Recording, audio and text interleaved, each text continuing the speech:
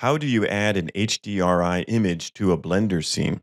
This Blender tutorial will show you everything you need to know to add an HDRI image to your Blender scene so you can get nice reflections and other lighting that comes from using HDRIs in 3D modeling. An HDRI has a high dynamic range of lighting information and information from 360 degrees that you can use to light your scene.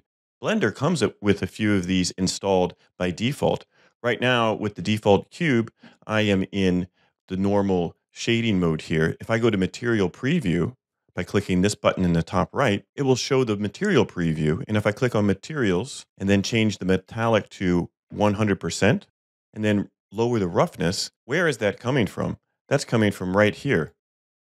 We can go ahead and select different HDRIs that are built into Blender but these won't show up in your render.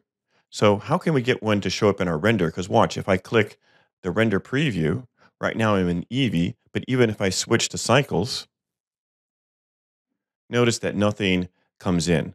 So first we need to click on the world tab and then click on color, then select environment texture. Everything turns purple because we don't have any HDRI selected. So where can we get an HDRI? You can create your own you can even just use a photosphere that you've created with your cell phone.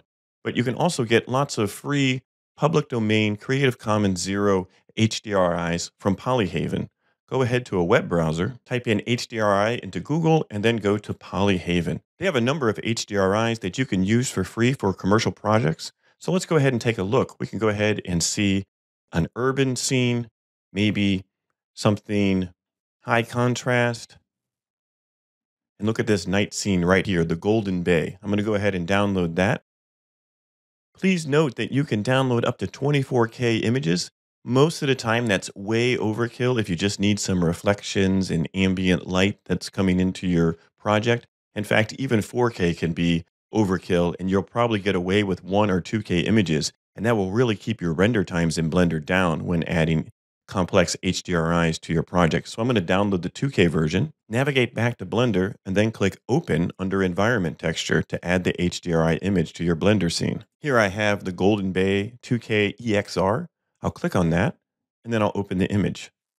Automatically, we start to see that the HDRI is included in our render.